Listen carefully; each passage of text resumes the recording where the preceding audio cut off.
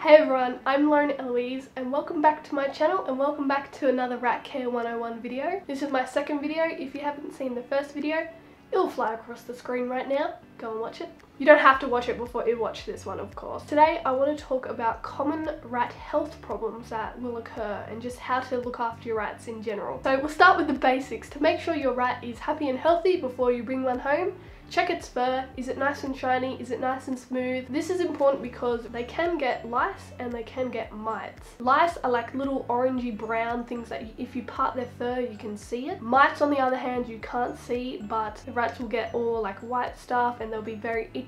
If this does happen please take your rat to a vet. The vet will probably give you a type of revolution, a type of thing that they put on cats and dogs. Please don't do this by yourself. Please go to a vet or research the correct way to do it because there are ones that are toxic to rats. Rats' nails are very sharp. They are constantly growing just like ours and sometimes you may need to clip them. Some people take their rats to a vet but I find this too stressful for a rat. You can just do it at home yourself or an alternative is to leave a rock in the rat's cage like in their litter tray for example. This not only helps the rats go and pee on that rock because they like peeing on rocks but also wears their nails down when they go to there all the time. A way you can cut them yourself if you do need to cut them, make sure your rat is held nice and steadily but you can use human nail clippers and then you can just clip the very ends of the nail. Some rats don't like this but like if you continue doing it then they will get used to it. Something else that constantly grows is their teeth.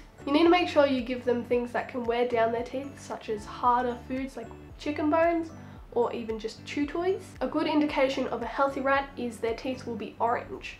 So not like ours. Sometimes if you don't give them these chew toys or these foods, they can grow really long and this can cause obviously eating problems with rats. If that ever does happen, just take your rat to a vet. One of the other smaller ones is sometimes an unhealthy rat will have red discharge coming from its nose or from its eyes.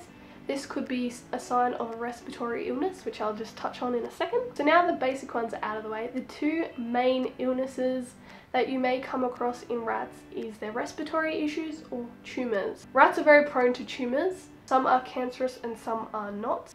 I really advise you to go to your vet and check with your vet if you see a lump on your rat. My rat Pepper did have a lump on her neck. I did take her to the vet because I knew the tumour was growing and therefore it would have disabled her at some point in the near future. So I knew it was best for her to get an operation and she could have that removed so she could live a happy life. Um, there's a lot of aftercare that you need to consider if you do get a lump removed. You've got to make sure the rat is kept nice and warm.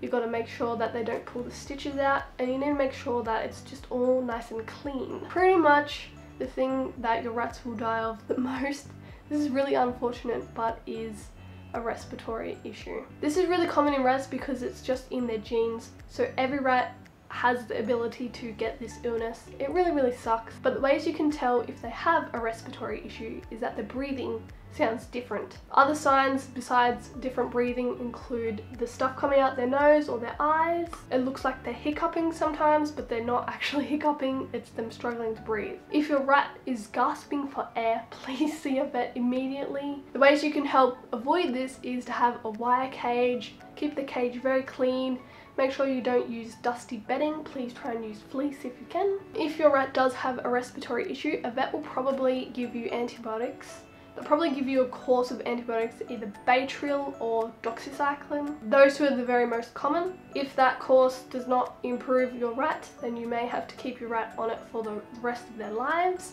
This can be quite expensive, so this is what I mean by rats are expensive. I went to the vet the other day to get another course of antibiotics. It lasts about two months, um, but I have to get two for Lola, two types. But this one cost $47, but I love her. I do it out of love. So yeah, those are the most common health issues you may experience with your rats. If you have any questions at all, feel free to leave them below. I will answer. If I don't know the answer, I will direct you to somewhere that will help you find the answer, of course. I love having you guys here. Make sure you give this a big thumbs up if you enjoyed it. And make sure you subscribe so you can see the next Rat Care 101 video. I'll see you guys next week in a new video.